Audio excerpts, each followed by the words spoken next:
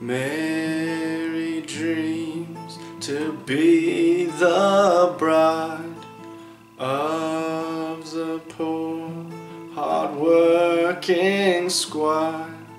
Her father dismayed at the dowry paid and said she'd wed a rich man someday.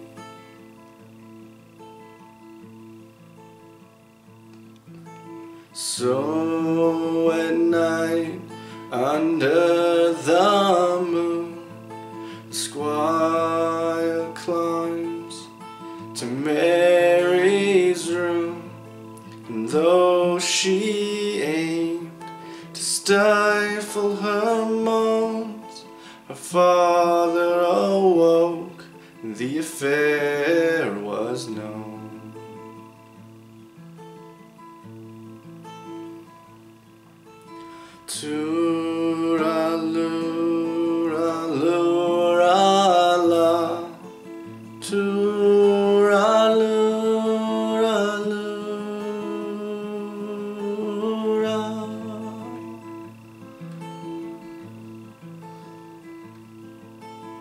father ran to the room enraged The squire fought and there was slain.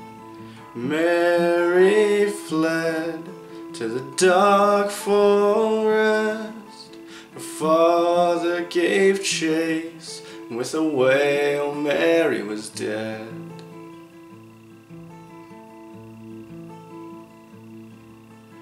Dusk the next night, there arose a sound could only be heard by the men of town.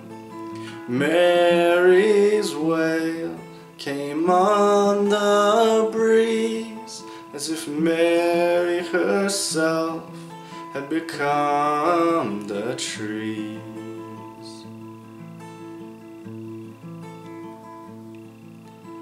Tooraloo-ra-loo-ra-la Tooraloo-ra-loo-ra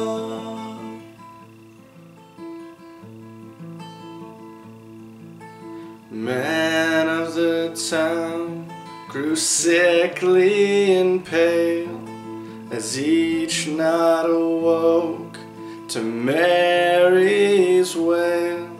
Some sat for the woods with torches bright, said prayers and set Mary's forest alight.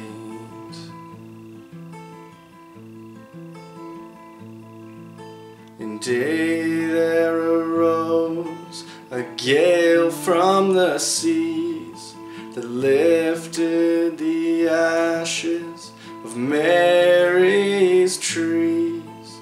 The town was left soaked in black and doubly strong. Mary's wailing came back.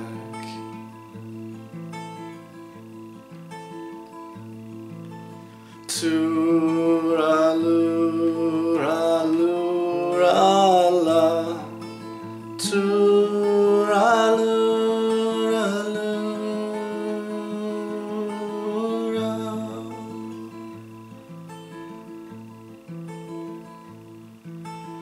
father wept for what he had done.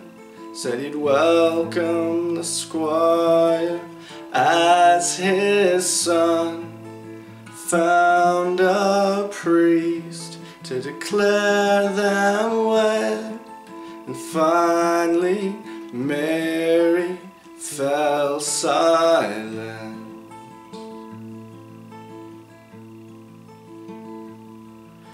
tells the fathers of the land you do not own your daughter's hand and if you will not heed his tale.